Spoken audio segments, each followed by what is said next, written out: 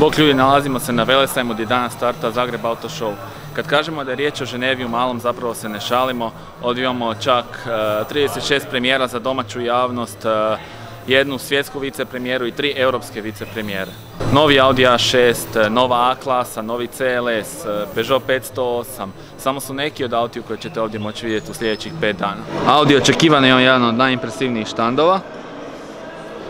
Imamo dakle novi A8,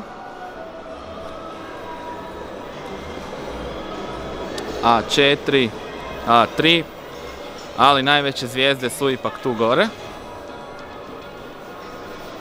To su novi A7.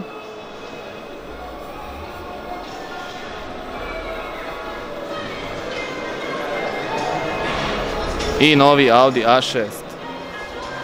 Umiljeno prilazno sredstvo domaćih političara. A za ljubitelje sportske vožnje tu je R8 Spider, novi RS5, RS4 i RS3 u ovoj sedan verziji.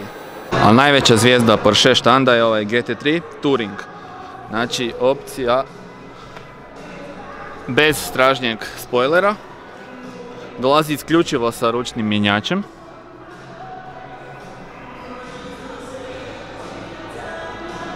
Nema nepotrebnih tipki na volanu, sve je podređeno vožnji.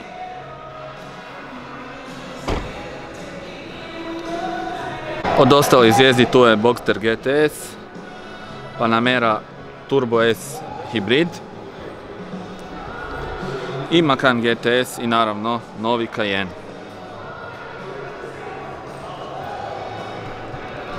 Ovdje imamo i novi Aventador S, Huracan Performante i novi Bentley Continental GT koji je zasijao u Ženevi prije koji tjedan, a sad je već ovdje. Kao i Bentayga. A europsku vice premijeru ovdje ima novi Tuareg.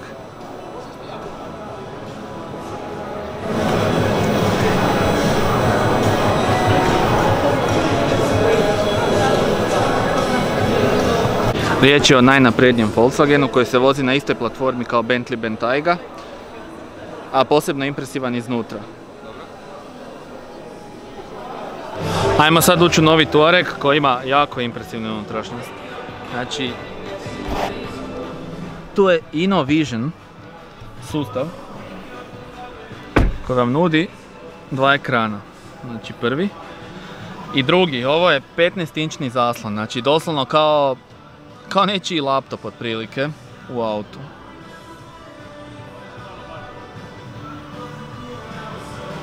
Izložbeni prostor ima i Pink Wing koji su svoj prostor ure- uredili kao jedan living room, jednu dnevnu sobu.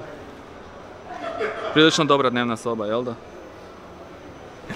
Znači novi M5 sa 600 konja i M4 GTS. Oba dva auta su ovdje e, kao hrvatske premijere. Tu imamo i novi mini JCV. Novost su lampe nove, novi minjač i jako cool stražnja svjetla, sad ćete ih vidjeti. Znači sa britanskim logom, Union Jack. Renault je na Velesajem dovezao novi Megane RS. Koji izgleda odlično, ovaj narančaste boji sa crnim felgama.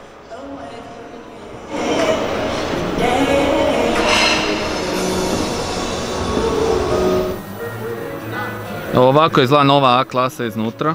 Impresivno, novi sustav M-Books. Jedan od najpametnijih na tržištu. I možete tu pola stvari mijenjati.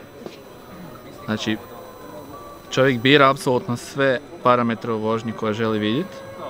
Navigacija, okretaj, čak i G sila.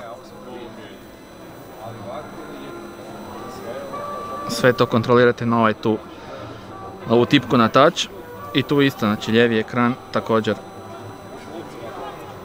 ide u šta god želite.